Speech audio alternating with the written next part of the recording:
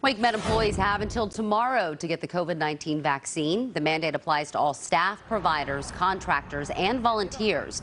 The hospital system has around 10,000 employees. In September, at least 80% of Wake Med employees had been vaccinated. UNC and Duke Health also passed their vaccine deadlines. UNC says more than 55 employees were fired.